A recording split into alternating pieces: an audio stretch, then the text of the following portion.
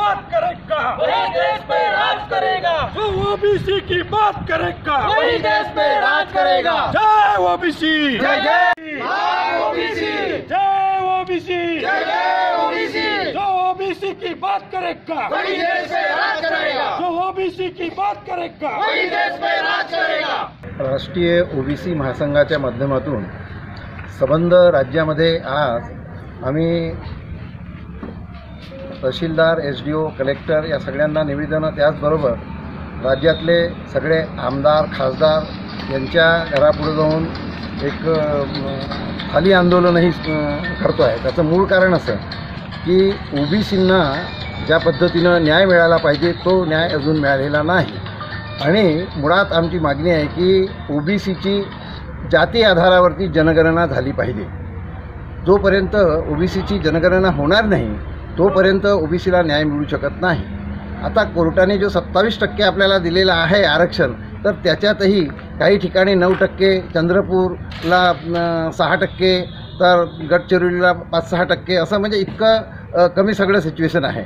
आणि त्याच्यामुळे आपल्या न्याय हक्काच्या सनदीच्यासाठी ही लढाई आहे. आणि त्याच्यामुळे शासनापर्यंत राज्याच्या माननीय मुख्यमंत्र्यांपर्यंत हे निवेदन पोचवण्याच्यासाठी आत्ता आम्ही या ठिकाणी तहसीलदार साहेबांकडे निवेदन द्यायला आलेलो होतो.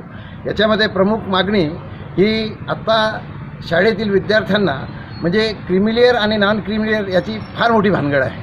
आणि त्याच्यामुळे ही क्रिमिलियरची अट कायमस्वरूपी रद्द करण्यात यावी. त्याला कारण असं की बाबासाहेबांनी जे संविधानामध्ये आर्टिकल तीनशे चाळीस याचा जर थोडासा आपण जर विचार केला तर कुठंही क्रिमिलेअर नॉन क्रिमिलेअर हा विषय संविधानाचा नाही. तरीसुद्धा कोर्टाने जन्म घातलेला हा जो विषय आहे तर याचा विरोध आम्हाला आहे आणि त्याच्यामुळे ही नॉन क्रिमिनलची अट ही पूर्णतः रद्द झाली पाहिजे ही आपली प्रमुख मागणी आहे. याच्यात महासंघाद्वारा आज गोरेगाव तालुक्यामध्ये ओबीसी समाजाच्या विविध मागण्यांसाठी एक निवेदन देण्यात आलेलं होतं. त्यामध्ये विद्यार्थ्यांसाठी नॉन क्रिमिलियरची अट रद्द करावी ओबीसीची जातीगत जनगणना करावी. तसेच अशा अनेक ओबीसींच्या विषयावर मान्य खुशालचंद्रजी बोपचे राष्ट्रीय समन्वयक आणि हरिरामजी एडणे जिल्हा सल्लागार यांच्या वतीनं एक निवेदन आज गोरेगावला देण्यात आलं. Rakesh Ramteke Vidarbha T V Gondia.